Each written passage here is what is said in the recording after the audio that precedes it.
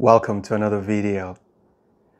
This beautiful problem is from a Korean mathematics competition from the year 2000. So this question is 24 years old. And the mission is to find all real values of x that are going to satisfy this equation where you have 2 to the x plus 3 to the x minus 4 to the x plus 6 to the x minus 9 to the x is equal to 1. What I would do if this was a competition and it was just the it was one answer that I needed. I was just, just start guessing because it looks like I can do some arithmetic. And the most important culprit in questions like this is the number zero. If I plug in zero for x, I'm going to get 2 to the 0, which makes it 1. So everything is going to be 1 as long as x is equal to 0. So that's going to give me 1 plus 1 minus 1 plus 1 minus 1. Clearly, that's equal to 1 because you have three positives and two negatives, all ones. Okay, the next most likely culprit is going to be 1. So we found a solution. x equals 0 is a solution. Okay, what about x equals 1? If I plug in 1 here, this is going to be 2 to the eh, 1 would be 2. So every number will be what it is. I'm going to have 2 plus 3. That gives me 5. 5 minus 4 is 1. 1 plus 6 is 7. 7 minus 9 is negative 2. But this is not negative 2. So 1 does not work. So you might try 2, maybe. Or you might try negative 1 and deal with some fractions. They might all resolve into one. Well, you keep trying, but you see the problem is all real x. So it's possible that the answer is not an integer that you can easily plug in. It might be some irrational number. Okay, so there has to be a way to find all possible solutions. Let's get into the video.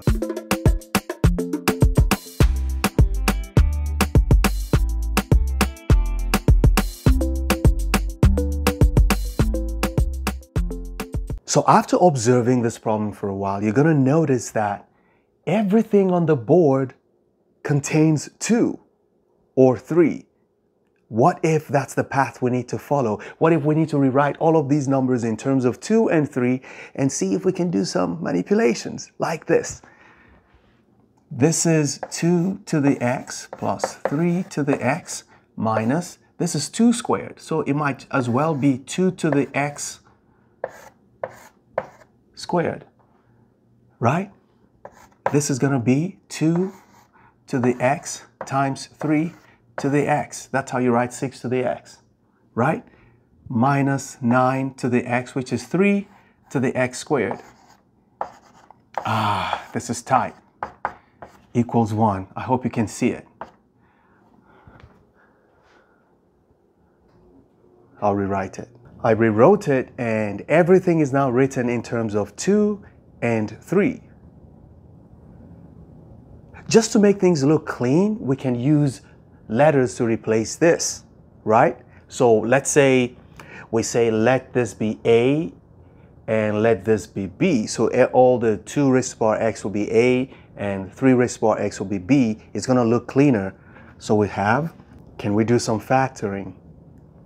At this point, what we're looking for is a way to make a conclusion from what we have, although it doesn't look promising at all.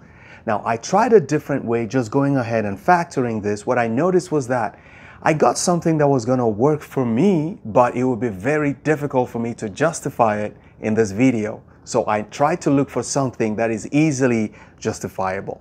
So what I'm going to do is collect everything to one side and see if factoring will become even smarter than what I'm doing, okay? Maybe completing the squares because I see two squares and I see A, B here, I see A, I see B, so it's promising. So I'm gonna collect everything to this side so that what I have is gonna be, when this moves over, it becomes positive, so I'm gonna have A squared, um, I have A squared, this becomes positive B squared, and then I have minus A minus B. This becomes minus AB. And because this 1 is already on this side, it stays at positive 1 equals 0. So what can I do with this? I can make this into two different quadratic expressions and do completing the squares for these two, these two. This guy is going to be surplus, but I'm going to find use for it. This guy too will be surplus, but it's going to be a balancing number. Okay, so in order to make completing the squares easy, I also learned this from number theory class. Well, I'm not going to be doing 4, I'll be doing 2 here. So I'm going to multiply everything by 2 so that I'm going to have, let's do it here. I'm going to have 2a squared plus 2b squared minus 2a minus 2b minus 2ab plus 2 equals 0. Now see how magical this turns out. So what we're going to have is 2a squared, but I don't want to do minus 2a. Okay, no, I'm going to take one of these two a's squareds. I'm going to use just one of them. So I have a squared. So I just took one of these. I'm going to combine it with this minus 2a. This is algebra, the beauty of algebra. That's it. Now I'm going to do the same thing for b plus b squared. I'll combine it with this minus 2b.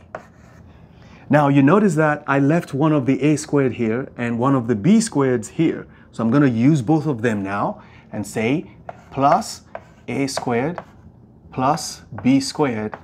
So I have all the a squareds and b squareds used up and I have this minus 2ab sitting here, minus 2ab. And then I have plus 2 equals 0. Now, how is this useful? Something is already obvious. This is what we call a minus b squared. That's what I was looking for. Because this is a square, I know it's going to be non-negative, okay? The worst I can get here is a zero. I can get a negative number. And on the right-hand side, I'm going to have plus 2 here equals 0. What can we do with this? Well, we can do completing the squares. If we complete the squares for anything like this, remember how we complete the squares? We're going to divide this coefficient by 2. We get 1. And we say this is going to be a minus 1 squared. But because we have completed the square, we have increased the value of this because we have added 1. We need to subtract that 1.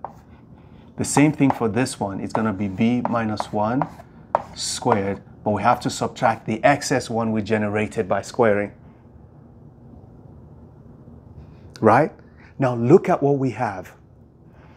Based on what we have, minus 1 minus 1 plus 2 is going to cancel out. What is left is basically a minus 1 squared plus b minus 1 squared.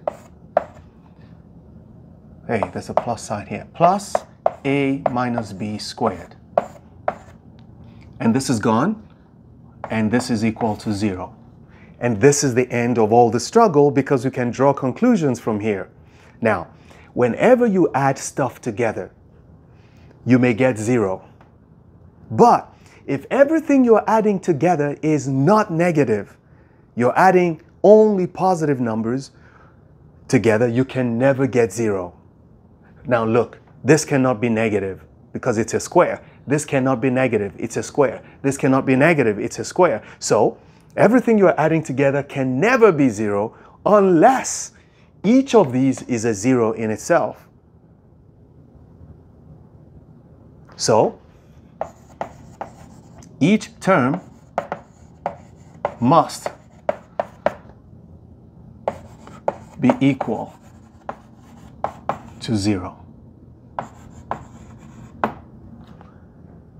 Therefore, you can go here and say if this is equal to 0, therefore a minus 1 equals 0, which implies a equals 1.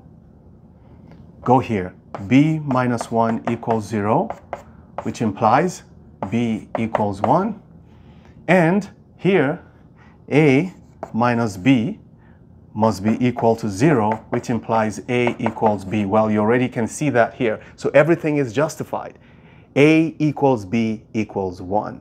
And that's the only solution we can get here. So A equals B equals 1 implies that 2 to the x equals 3 to the x equals 1, which implies that x is equal to 0.